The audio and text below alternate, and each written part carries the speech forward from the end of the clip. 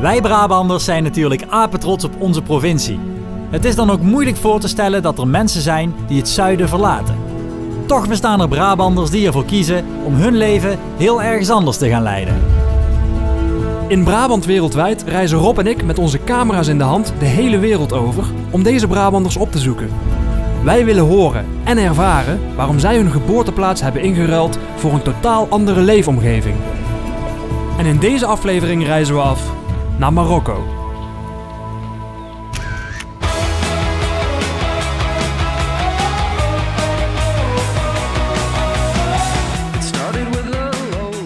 Ik loop hier in het zonovergoten Marokko.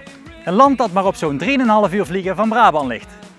Toch zijn er maar weinig mensen met een zachte G die besluiten om hier naartoe te emigreren. Maar er is een hele gezellige Helmondse die drie jaar geleden de spullen pakte en naar Essaouira verhuisde. Marokko ligt in Noord-Afrika en telt zo'n 33 miljoen inwoners. De hoofdstad is Rabat en de meest bekende gebieden van het land zijn het Atlasgebergte en de Sahara. Door de enorme veelzijdigheid aan natuur en cultuur maken steeds meer toeristen de reis naar dit Arabische land. Wat je hier nou als Brabantse vrouw te zoeken hebt, dat is voor ons nog een raadsel. En daarom gaan we dit vragen aan de Helmondse Marjan, die de kans om te emigreren naar Marokko aangreep toen deze op haar pad kwam. In deze aflevering bezoeken we Marianne Keizers in de kustplaats Essaouira. Met haar snuiven we een flink stukje cultuur. We maken een trip door het Atlasgebergte. En we beleven de Sahara op traditionele wijze.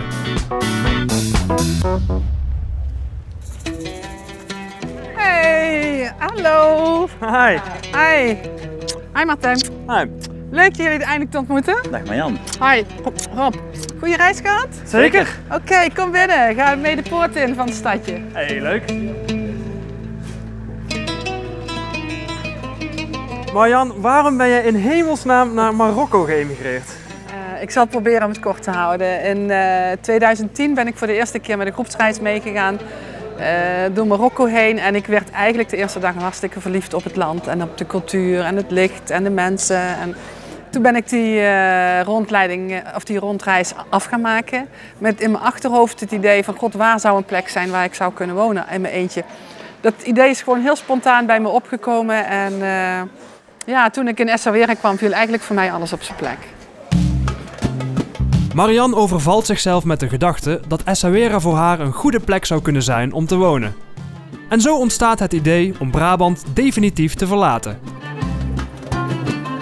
Heb je altijd al de wens gehad om te emigreren? Nee, eh, nee, nee, eigenlijk niet. Eh, toen ik nog getrouwd was, eh, ooit één keer Sicilië in beeld geweest voor na het werkzame leven, zeg maar. Maar ja, de scheiding heeft me gewoon andere kansen geboden en ik heb ze met twee handen aangegrepen. Maar je bent dus gescheiden en toen ben je deze reis gaan maken. Is het zo dat je weg wilde vanuit Nederland? Nee, absoluut niet. Eh, Geen vluchtgedrag of zo? Nee, nee absoluut niet. Eh, tussen de scheiding en, eh, en mijn reis naar Marokko zat eh, 2,5 jaar.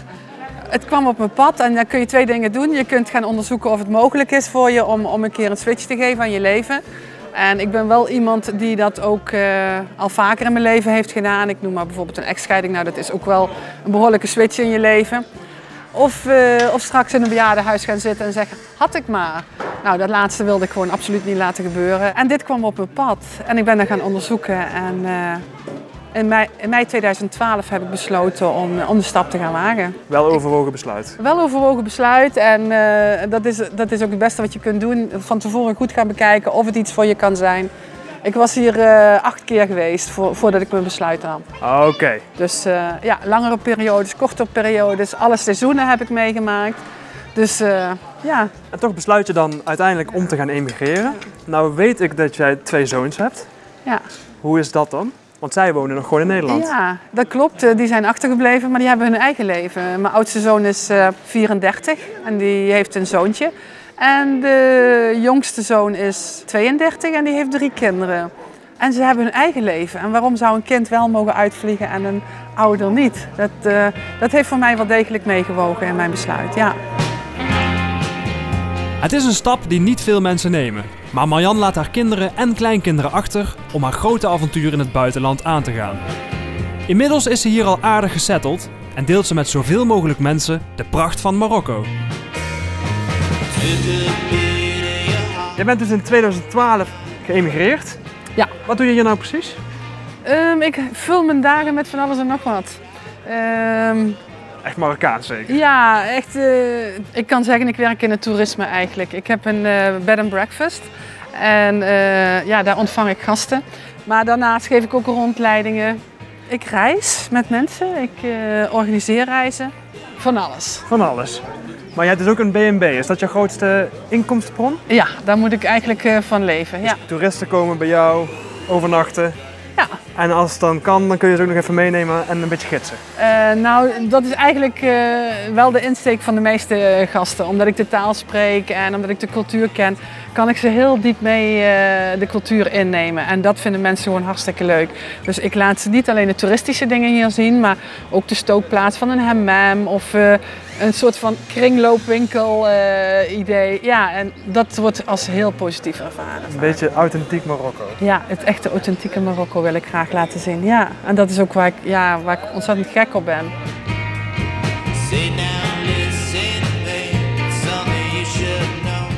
Wat is Essaouiri nou voor een plaatsje? Essouari, Essou... Weet ik veel hoe je het uitspreekt. Essaouira. Essaouira. Ah, er zijn nog veel mensen die daar de tong over gebroken hebben, ja. Essaouira. Essaouira. Essaouira. Es- wat is Essaouira voor een plaatsje? Ja, het staat op de werelderfgoedlijst van de UNESCO. En eh, sindsdien is het een beschermd eh, stadsgezicht.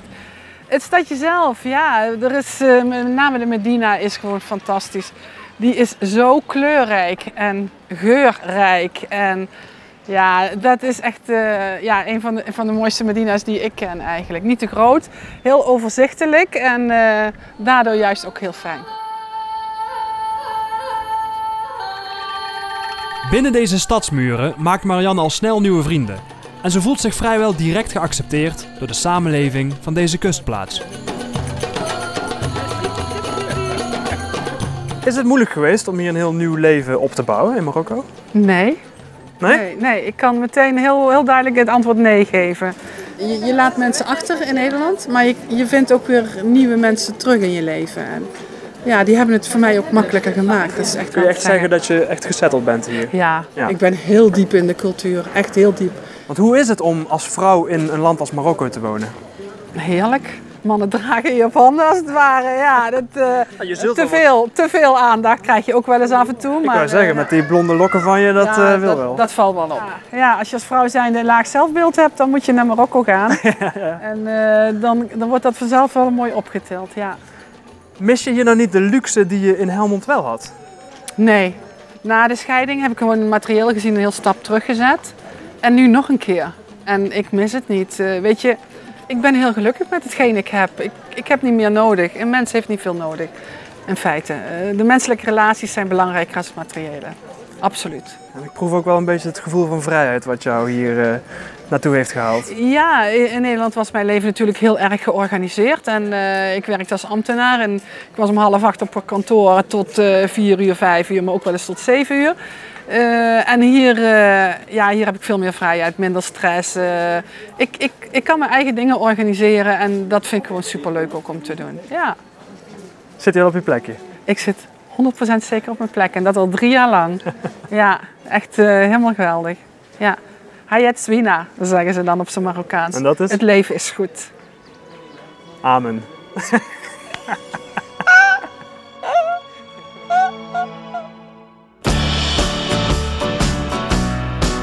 Het netwerk van Marjan heeft zich hier in rap tempo uitgebreid. Sommige mensen zijn haar zo dierbaar geworden dat ze hen zelfs broers en zussen noemt. Nu neemt ze ons mee naar een gewone vriend en hij is de eigenaar van een zeilboot.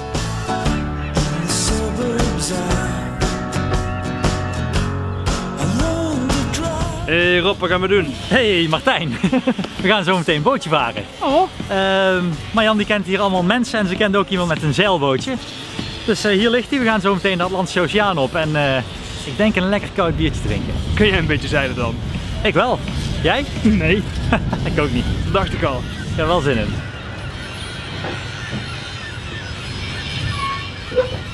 Nou, mooi bootje. Het is een schitterend bootje. Al snel komen we los van de kade en varen we de Atlantische Oceaan op. Met een mooi uitzicht op Marians woonplaats worden we warm welkom geheten door een heerlijk vakantiegevoel.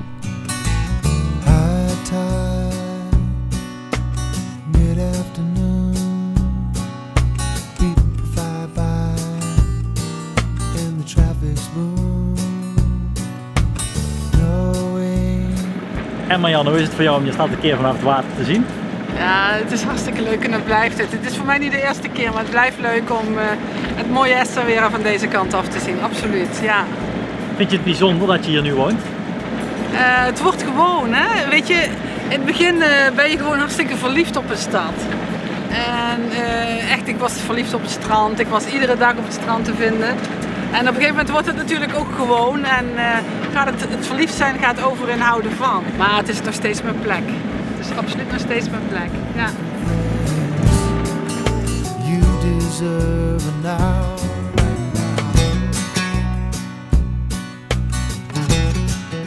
Na een uurtje ronddobberen is het hoogste tijd om terug naar de haven te gaan. Want de zon zal zo meteen achter de oceaan verdwijnen. En dat gaat hier gepaard met het ontstaan van woeste golven en een koude wind.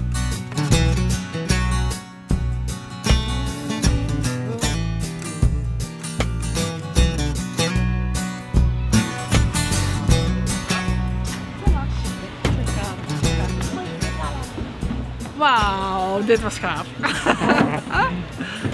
Met z'n allen het schip ingegaan. Als de avond valt in Essaouira ontmoeten we Marians zogenoemde Marokkaanse broer. En met een mooie zonsondergang gaan we hier de nacht tegemoet.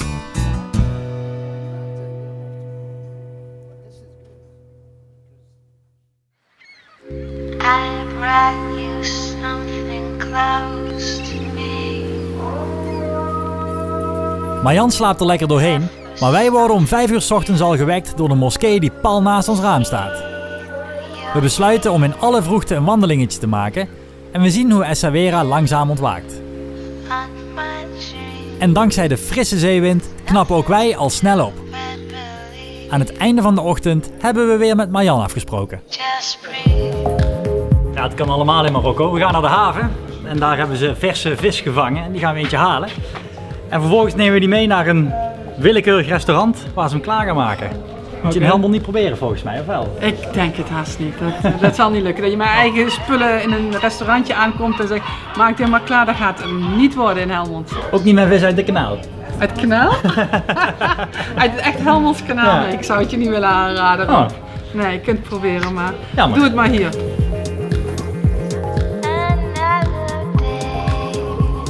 De haven ligt op een steenworp afstand van Marjans Bed and Breakfast. Eenmaal bij het water ontmoeten we Sadia, het Marokkaanse zusje van Marjan. Samen met haar lopen we de vismarkt op. Aujourd'hui, il fait beau, il y a beaucoup de poissons, surtout les sardines, parce qu'il fait beau aujourd'hui. Tu vois, il y a beaucoup de monde qui vient ici pour chercher les sardines. On peut acheter les sardines et après on peut griller l'autre, euh, des petits cafés, des petits restaurants euh, berbères. Et après, on peut acheter beaucoup de, il y a beaucoup de, de- de poissons, il y a des sardines, il y a de la ceinture, il y a des crabes, il y a des crevettes, calamars, plein, plein, plein, plein, plein de- de poissons.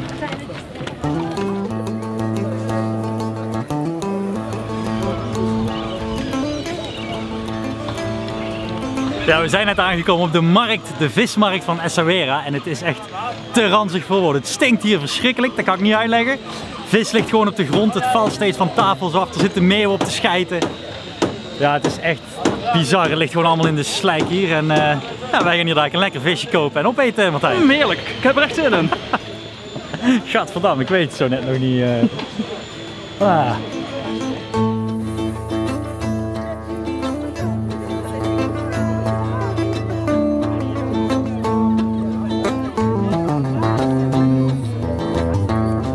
En Martijn, wil je hem hebben? Ah, ik wil wel iets kopen, maar ik zit een beetje krap. nee, we gaan iets lekkers uitkiezen. Sukkel.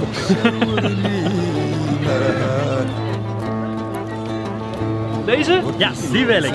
Ja? Zullen we die doen?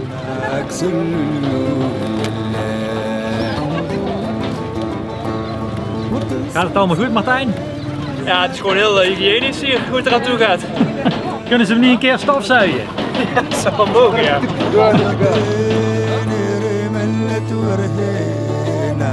En met onze schone aanwinst in de hand gaan we op zoek naar een eetentje. Oh, hier is het restaurant. Restaurant. Tussen aan- en sluittekens. Ja. Midden in een enorme rookwolk zien we een grillplaat en wat plastic tafels en stoelen. Toch zitten er genoeg mensen, dus Dus wagen wij Brabanders het er ook maar op. En hoewel de verwachtingen op de markt niet al te hoog waren, blijkt het toch wel een goeie visje te zijn.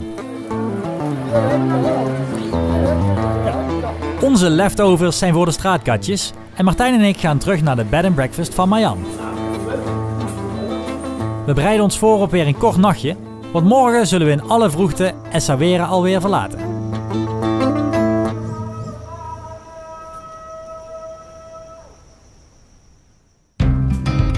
Marian heeft een chauffeur gestrikt die ons in twee dagen naar de Sahara gaat brengen. Een unieke kans om meer van de cultuur en het landschap te ontdekken.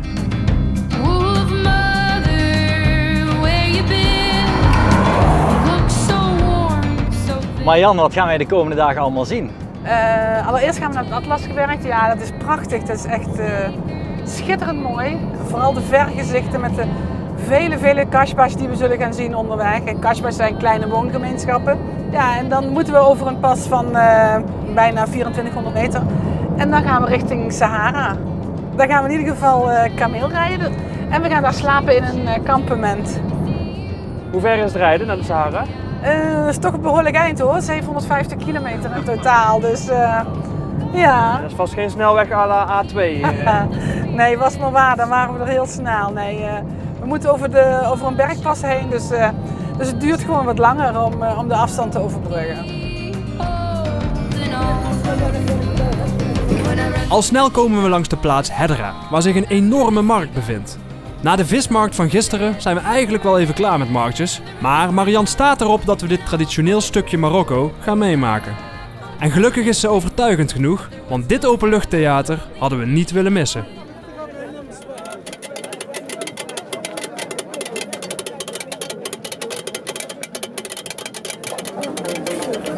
Naast een relatief normale markt met groenten, fruit en vlees kun je je hier ook laten knippen of scheren. Als je dat tenminste durft. Maar het meest bijzonder is wel de handel in levende dieren. Wat er op een gezellige manier aan toe gaat. Het is alsof je terug gaat in de middeleeuwen hier. Ja, het is echt heel authentiek. Ja. Er wordt flink onderhandeld en de kamelen vliegen er als eerste uit. Andere dieren moeten daarentegen eerst een flinke test ondergaan.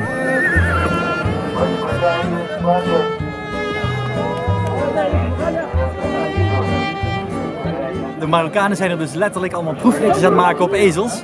Dus er race hier overal Marokkanen rond op een ezel. Als wij een auto testen in Nederland, ze worden hier eh, ezels in hun versnelling gezet.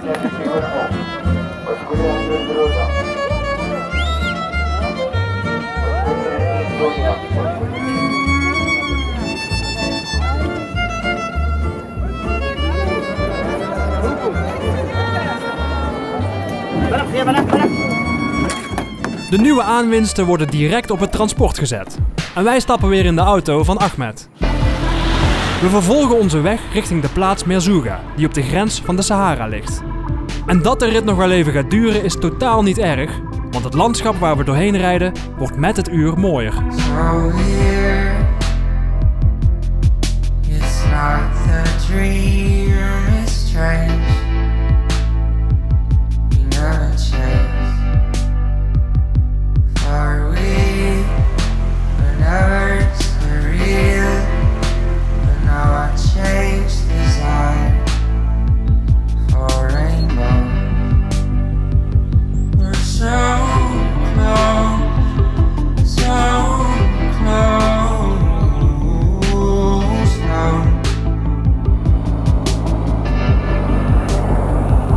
Onze route gaat dwars door het Atlasgebergte.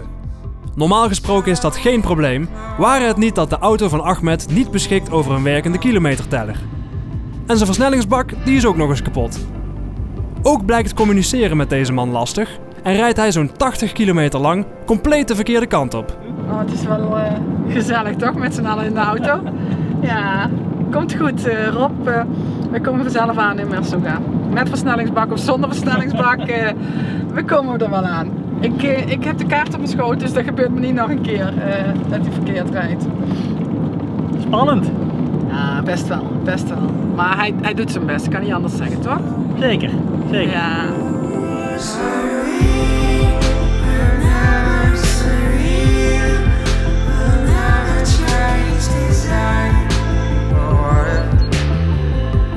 We're never surreal. opvalt in Marokko is dat de mensen zich ontzettend hebben laten inspireren door de Efteling. Ehm, de moskeeën die je ziet lijken eigenlijk allemaal op de Fata Morgana. En hierachter zijn ze begonnen met de aanleg van een nieuwe wildwaterbaan.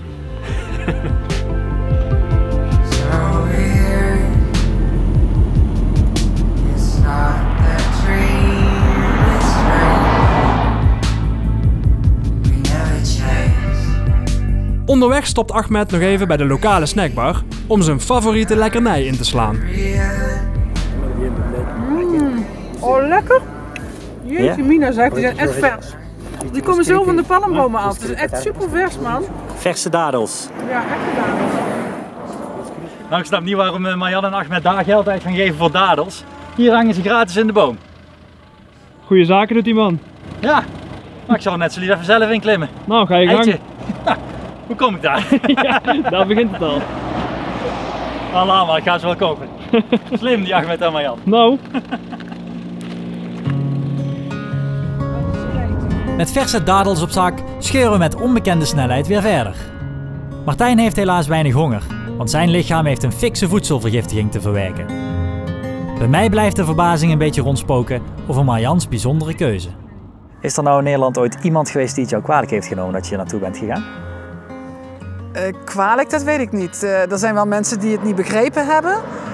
Maar goed, ik, ik kan het niet iedereen naar de zin maken. Dit, is- dit was echt een keuze voor mezelf. En eh, daar heb ik ook echt voor gekozen. Ja. En toen jij hier aankwam, was je toen al snel gesetteld?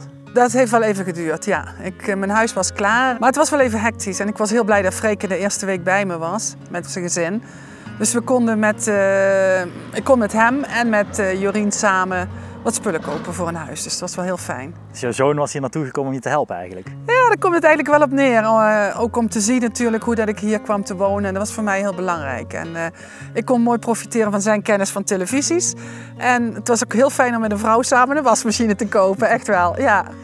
Freek is jou echt komen helpen om hier naartoe te gaan? En jouw andere zoon? Die had ik ook uitgenodigd om mee te gaan. Maar eh, ja, dat is gewoon niet gelukt. En daar had hij gewoon heel veel moeite mee. En ik wil niet dat hij hier naartoe komt speciaal alleen voor mij. Eh, hij moet het zelf ook prettig vinden. En eh, daar was hij blijkbaar nog niet aan toe op dat moment. Vind je het jammer dat hij hier nog niet geweest is?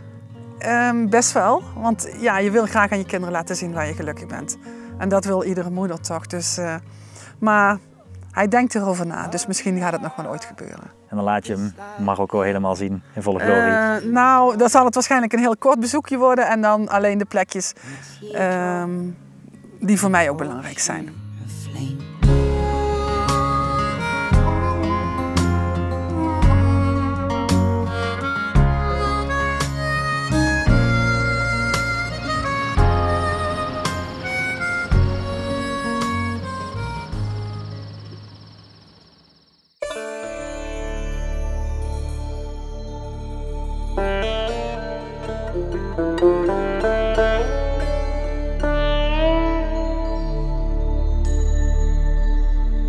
Nou, ik eh, ben een beetje ziekjes geweest de afgelopen dag. eh voedselvergiftigingetje. En ehm, ik zal je de details besparen. Maar dan eh, kom je op toiletten die niet zo zijn zoals bij ons in Brabant. En het zette mij wel aan het denken zo van... Dat Marjan als westerling naar zo'n land gaat. Ik zou het niet kunnen. Want je doet zo'n stap terug in je, in, in je dagelijkse dingen, in je basisbehoeften. Dat ik na een dag al zoiets had van weg hier. Maar ik vind het knap van Marjan. Kun je nu wel weer een beetje waarderen? Ik kan nu weer de schoonheid van het land zien, dus nu kan ik het zeker waarderen.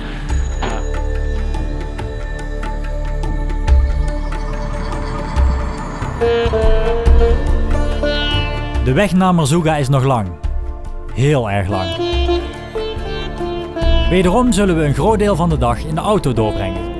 En hoe dichter we bij de Algerijnse grens komen, hoe droger het landschap wordt.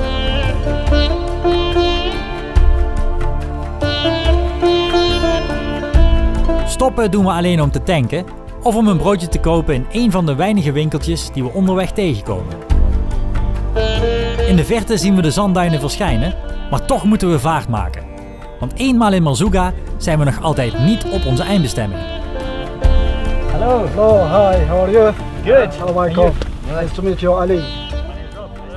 This is the dunes of Merzouga. His name is Ergshabi, the name of all these dunes, and uh, all people they come especially for to visit the area of these big dunes. and they go for the, to spend the night in the desert. Uh, tonight you will stay uh, by camel, this uh, camel, and you will have two hours to arrive to the tent. There where you can spend the night to live this uh, nomad life. Oh, Jesus. Marianne durft de rit op een kameel niet aan. Dus ze zal Rob en mij per jeep volgen richting het tentenkamp. Langzaam maar zeker trekken we steeds dieper de woestijn in. Ver weg van de bewoonde wereld.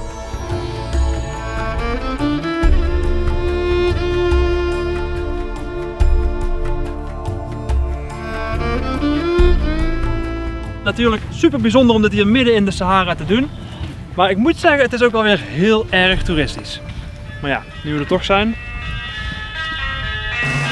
Ja, want helaas blijkt al snel dat we hier niet de enige toeristen zijn. En dat deze ritjes in grote getalen gemaakt worden door vakantiegangers.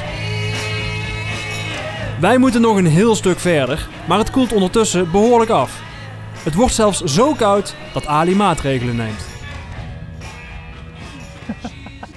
Nou, daar zijn we dan. Helaas nog niet op de eindbestemming. Het eh, wordt te koud hier in eh, de woestijn en de zon gaat onder. Dus eh, we gaan met Marjan mee verder. In de jeep, denk ik, naar het tentenkamp. En dus ruilen we onze trouwe viervoeters in voor een auto, maar vragen ons direct af wat nou eigenlijk comfortabeler was. Oh, la la la la. Ik vind het gezellig in de Sahara. Ja, dat is zo erop.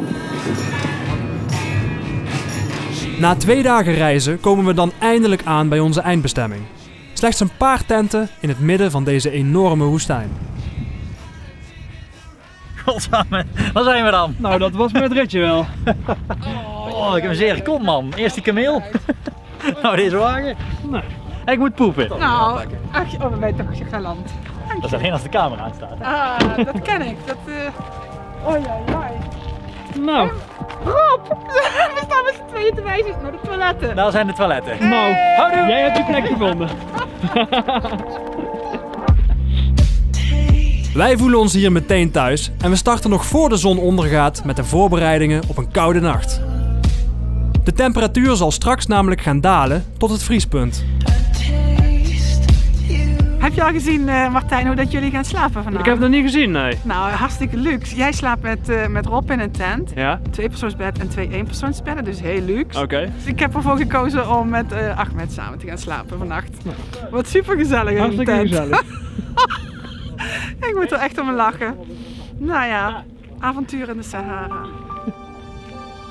Cheers.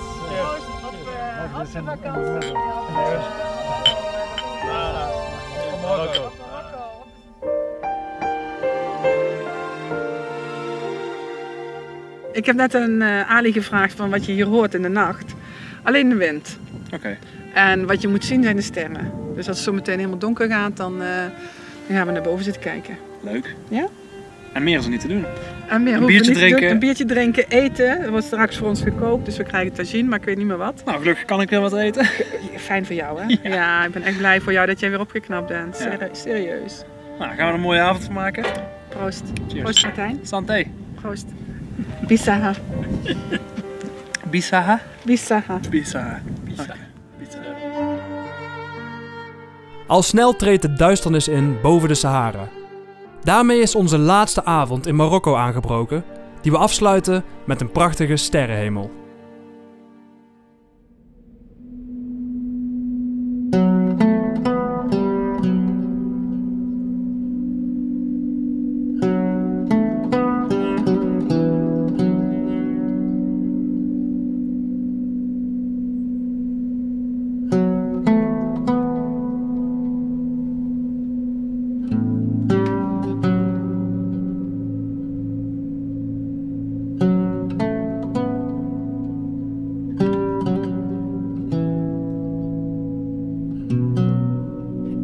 Vroege ochtend, nog voordat de hitte te intens wordt, zoeken we een mooi plekje in het zand om nog één laatste keer met Marjan te kletsen.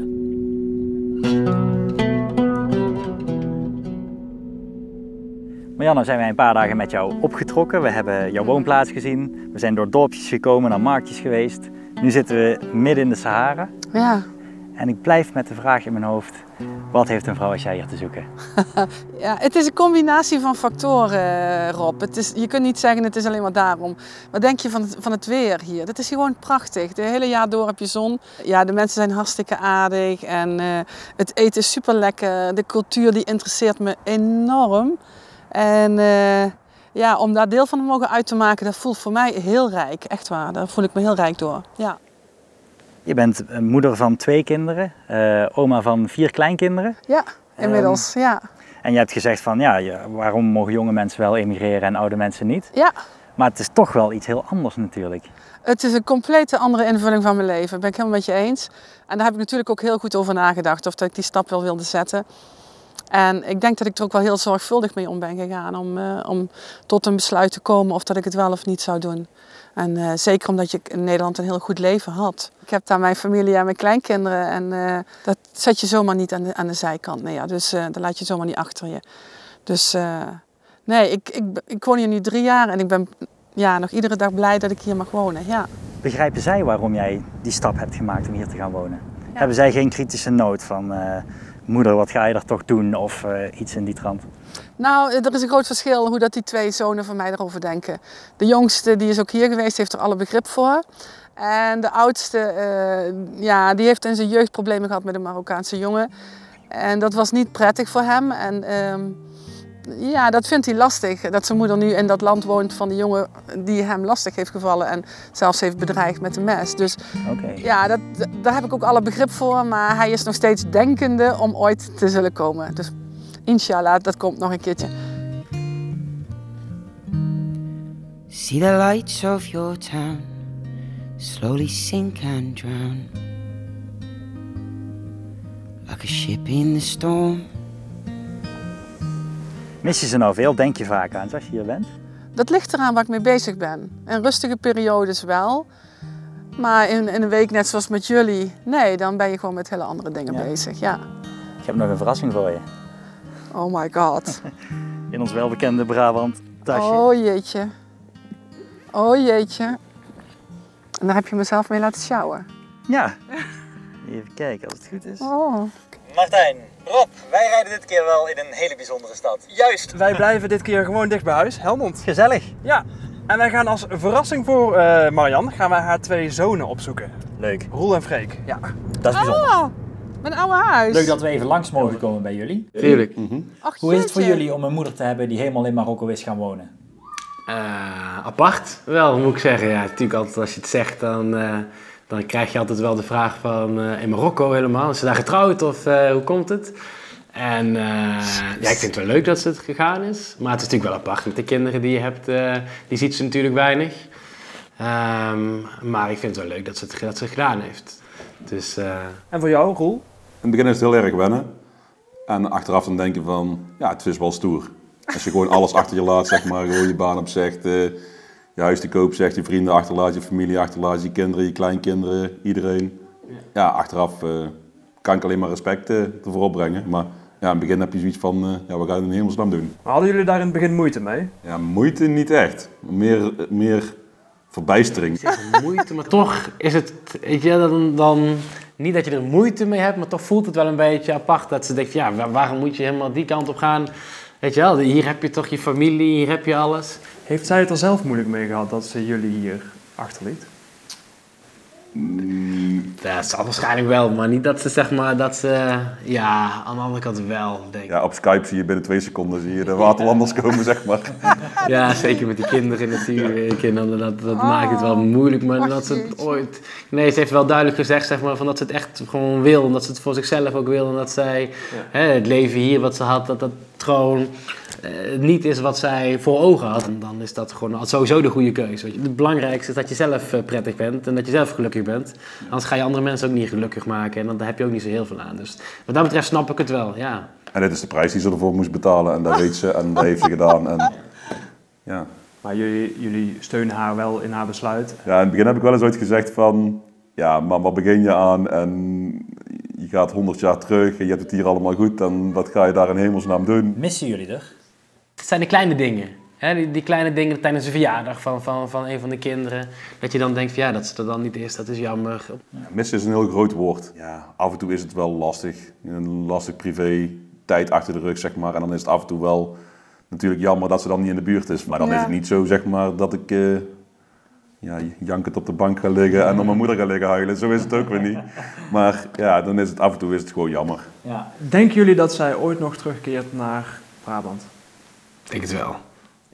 Ja, als je er zelf moet geloven, zegt ze niet. Nee, maar ik denk meer zeg maar op het moment, kijk, daar de gezondheidszorg is natuurlijk niet echt eh, je van het daar. En op een gegeven moment denk je toch, dat duurt nog wel eventjes hoor. Maar op het moment dat, dat ooit, ja, iedereen gaat op een gegeven moment de gezondheid achteruit en de mobiliteit achteruit gaat, dan denk ik dat ze dan ooit toch wel een keertje terug naar het Nederland gaat. Maar Ik denk van niet.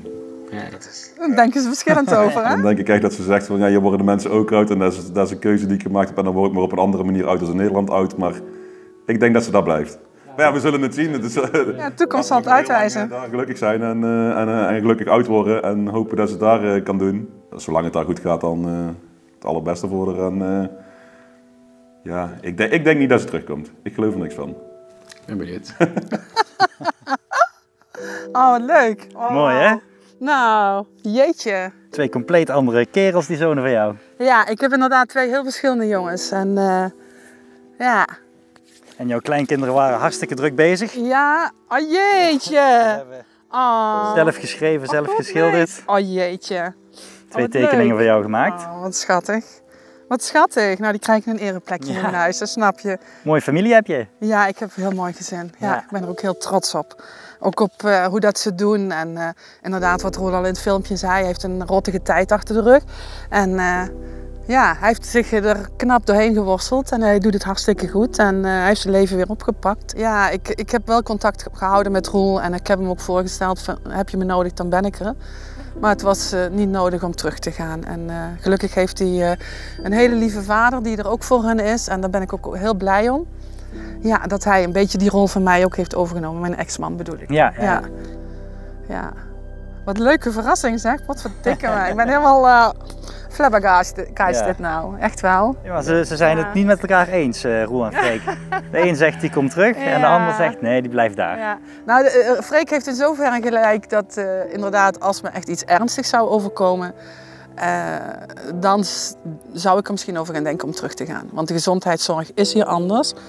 Maar als ik gewoon gezond oud word, eh, nee, dan, dan wordt mijn laatste plekje hier eh, vlak aan zee. Ja, dan blijf ik hier. En, eh, nee, en in zoverre hebben ze alle twee wel gelijk. Maar ik hoop gewoon dat ik niet ziek word en dat ik gewoon eh, heel rustig hier mijn oude dag kan eh, door gaan brengen. Ja. Jij blijft gewoon hier.